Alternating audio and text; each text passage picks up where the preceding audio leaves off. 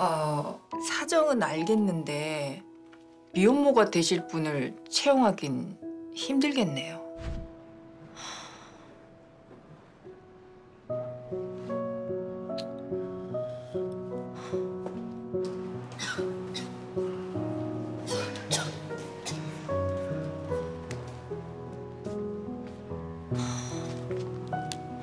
아가씨, 저 어디 아파요? 아, 감기 기운이 좀 있어서. 저 카운터에 감기약 있는데 내 좀 갖다 줘. 아, 아니요. 저 약 먹으면 안 돼서요. 감사합니다. 애가 진 모양이네.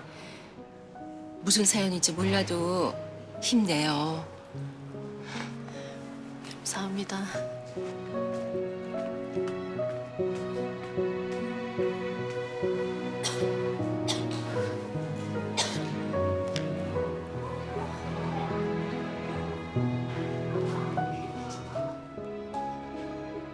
하고 싶어. 엄마.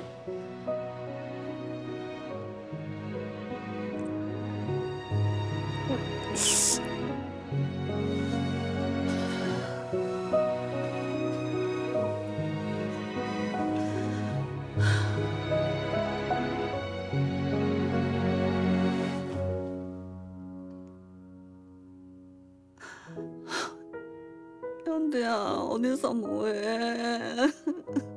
음.